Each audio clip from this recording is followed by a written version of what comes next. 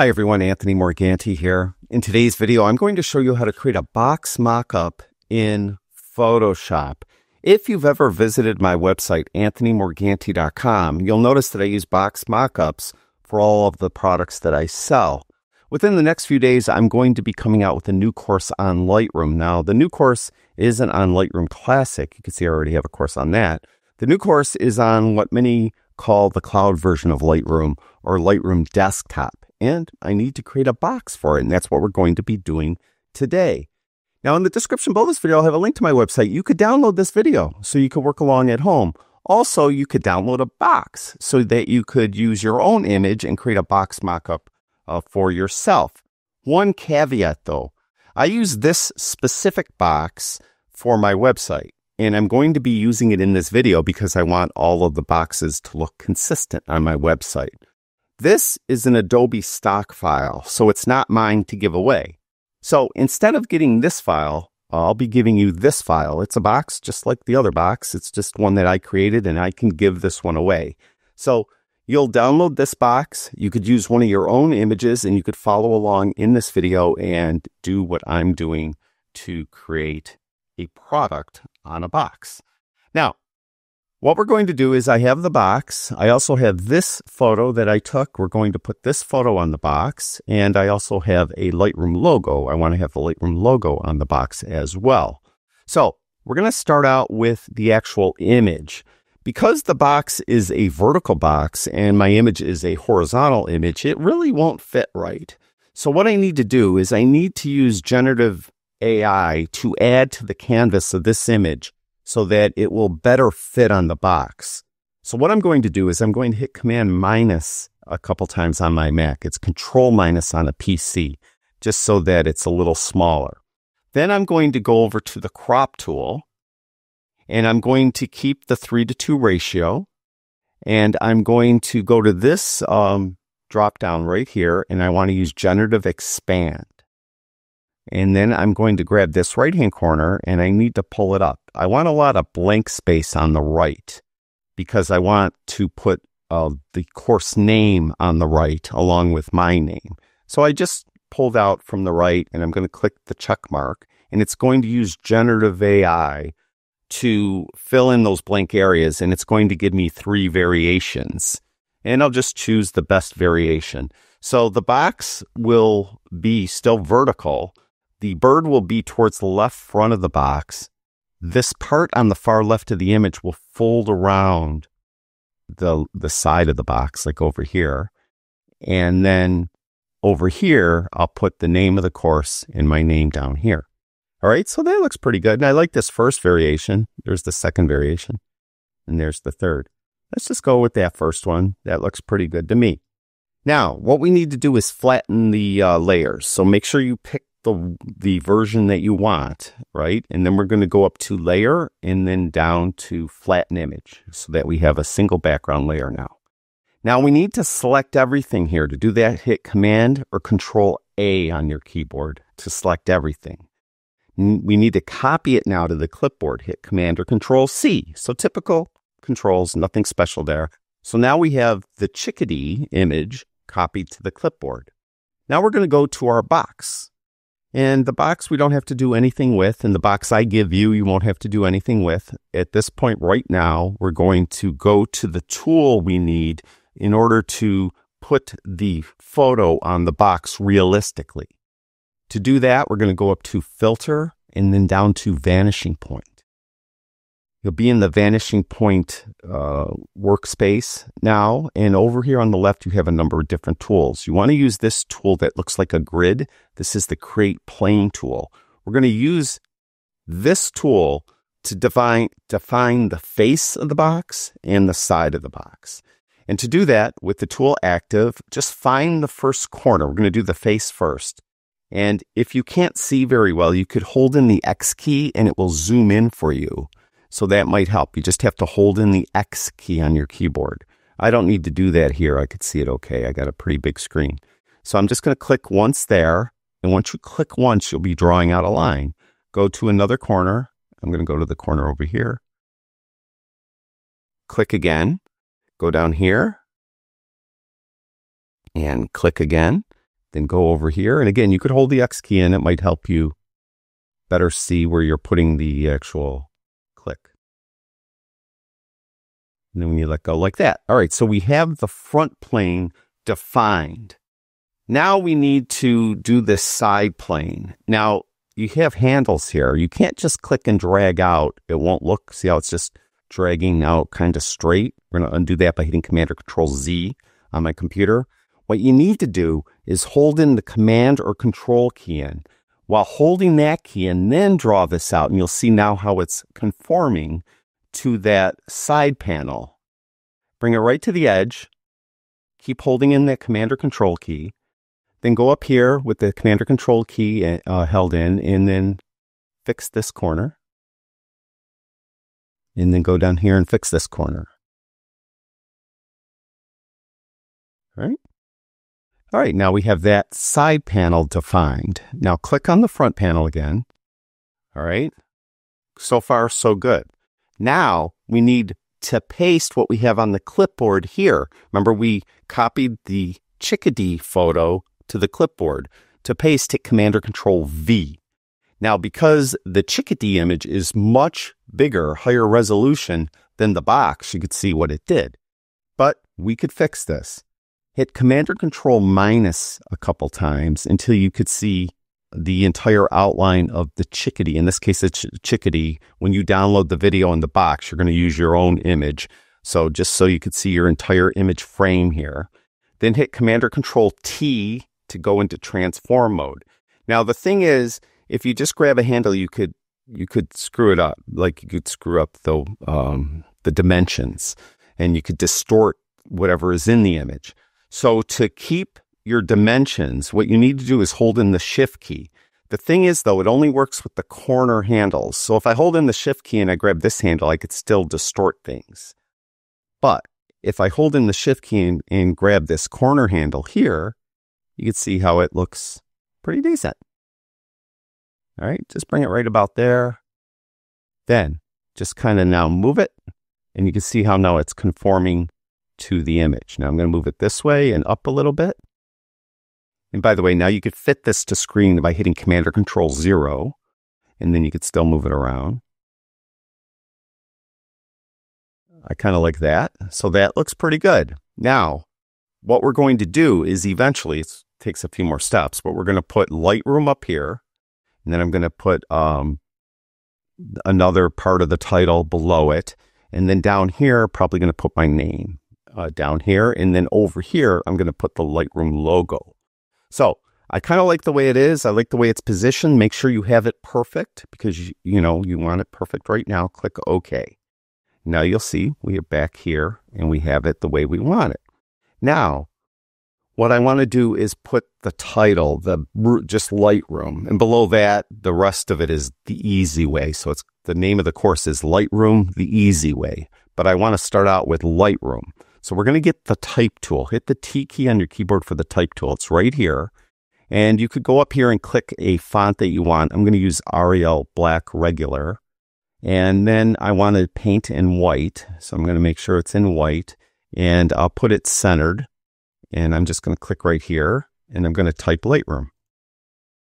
Now, I'm going to click the check mark. It's not obviously what I want yet, but I'm going to click the check mark because I have over here a character panel. Um, this is my the way I have my workspace set up because I often use type and I like to use the character panel as opposed to the adjustments up here. It's a lot easier with the character panel. So to see the character panel, go up to window and then down here, make sure that you click on character and it has a check mark next to it. All right.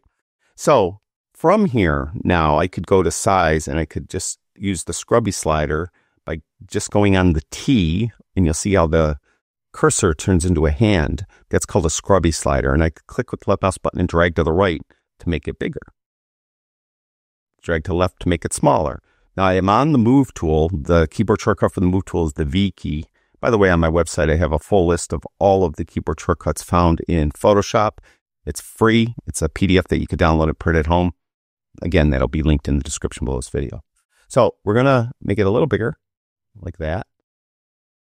Now, see how it doesn't look right uh, because the box is kind of tilted to the side a little bit, and that's what we're going to be fixing. So don't worry about that. I'm going to make it a little bigger like that. And then I am going to uh, give it an effect. I'm going to give it a shadow. So I'm going to go down here to effects and do a drop shadow.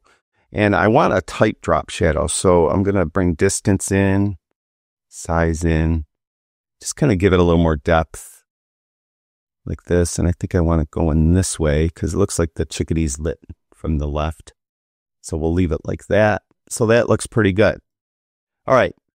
So we have Lightroom. Obviously, it doesn't look right. What we need to do now is we need to rasterize this layer. To do that, just right click right on it and go down to rasterize type. Now we need to rasterize the layer style. That's the shadow. Right click right on the image and go down here to rasterize layer style. Now you'll notice it's just a normal layer. It's no longer a type layer. Now we need to copy all of this to the clipboard. Do the, again, hit Command or Control A, then Command or Control C, so it's copied to the clipboard. Turn that layer off. Click on the background layer, then go back up to Filter, and then down to Vanishing Point. And you'll notice that our grid is still there. So we don't have to do that again. Just hit Command or Control V to paste it to the clipboard. Then click and drag it to where you want it.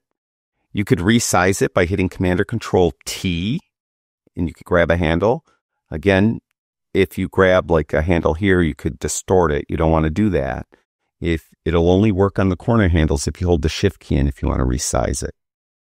So Lightroom, that's good. I'm going to click OK. Now I need some more type. I need to put um, underneath Lightroom, I need to put the easy way. So we're going to get the type tool again by hitting the T key. I'm going to get a different font. I'm going to try this Founders one right here, I think. So we'll click here and we're just going to type the easy way. All right. We're going to click the little check mark. And because I have the character panel here, I could come in and resize this make it smaller and get the move tool and move it this way a little bit. And again, with this, I'm going to add a little bit of a drop shadow. So I'm going to go up to the F or down to the FX down here and click on drop shadow. And I think I'll bring it a little bit closer like that. A little bit like that. That's good. So so far, so good. Now we need to rasterize the type. To do that, right click, go down to rasterize type. Then we need to rasterize the layer style. Again, right click and go to rasterize layer style. That's the shadow. Then we need to select all of it by hitting Command or Control A, then Command or Control C to copy it to the clipboard, then turn it off, click on the background layer, then go up to Filter, vanishing point. Hit Command or Control V. It always puts it up in the corner. Drag it down here and put it where you want it. Again, you could resize it if you need to by hitting Command or Control T, but I think I like it exactly like that. We're going to click OK. Now, I need to put my name down here. So we're going to get the type tool again by hitting the T key. I think I'll use the same font. We'll try it at least. And I'm going to click down here. And actually, I want this left aligned. And I'm going to put by, maybe in lowercase. And then my name. Okay, I'll click the little check mark. Again, I have the character. Uh, I'm going to go to the Move tool too. We'll go to the character panel. I'm going to make this smaller and I need some more uh, space between the lines. So I'll go to this uh, tool right here. Again, I'm using the scrubby slider and put this up over in here.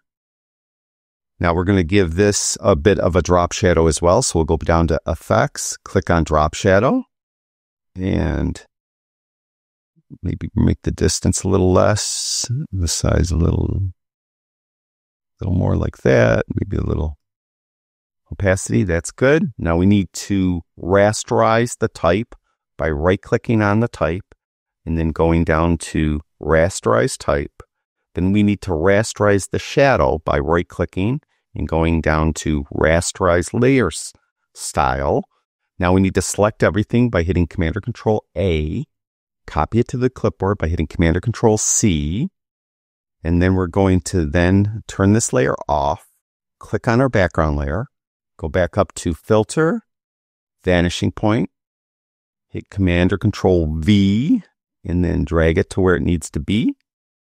And then we need to resize this. It's a little too big. I'm going to hit Command or Control T. I'm going to grab from a corner and hold in the Shift key so that I'm not distorting it. Put it right there. All right. And then we're going to click OK. Now, the last thing we need to do is put the logo of Lightroom over in that left-hand corner. So I have it right here. I'm going to select all of this by hitting Command or Control A, copy it to the clipboard by hitting Command or Control C. Then we're going to go back to our box, make sure we're on that box layer. By the way, you could throw, all, throw away all these uh, text layers, take them down here to the garbage. You don't need to hold on to them since they're already here. Now we need to go to this background layer and go up to Filter and then down to Vanishing Point hit Command or Control V to paste it. Now we need to hit Command or Control T to resize it. Hold in the Shift key, grab from a corner, resize it, and then pull it over here like that. And we're going to pull it out a little bit. Now, sometimes I notice with the logos, they kind of look funny on the side. They look, so you could distort this maybe a little bit.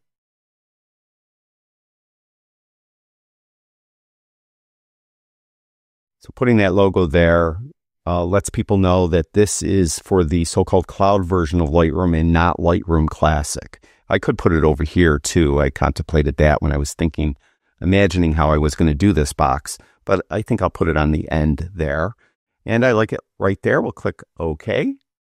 Now we have it. Now, one thing you'll notice is the left side of the box uh, should have a shadow on it because the box is casting a slight shadow here. And the actual box mock-up, the blank box did have a shadow there, but when we put our image on it, it covers up the shadow. So I like to take care of that. So you'll notice we have a selection going around here where you see the marching ants. Get rid of that selection by hitting uh, Command or Control D to deselect. Not sure why that selection was there. But we're going to go to a lasso tool. Uh, so we're going to go to specifically the polygonal lasso tool. And what we're going to do is we're going to click once in a corner, like right here, and then it draws out a line. And we'll go, and we're just going to do this side panel. So go and click all the way around the side panel, like this, and like this. All right. So I have this uh, selection now. Now I need to feather it a little bit. So I'm going to go up to select, then down to modify, and then down to feather. And you can do like three to five pixels. I'll do five and make sure that effect, apply effect to canvas bounds is checked and click OK. Now we have this selection. I need to just basically darken down this side panel a little bit. I'll just go to the brightness contrast adjustment layer. Because I have a selection, it will automatically apply a mask so that it will only affect that side panel. Let's see what it's doing. Just like that. You can mess around with contrast. You don't have to use this. You could use levels. You could use layers or curves. You could use exposure. I'm just going to use the brightness contrast. It's easy. It's one slider. And there is my box. Now I could flatten this out. Um, if you want to, you could go down to layer, flatten image. And there's our box. And that's the box I'll have on my website when the course is live. And again, in the description below this video, I'll have a link to my website you'll be able to download this video, this exact video you're watching right now, so that you can work along at home. And you'll be able to download this box so that you could try this yourself and see how you could do uh, with one of your own images. Thank you, everyone who watches my videos. I really do appreciate it. I'll talk to you guys soon.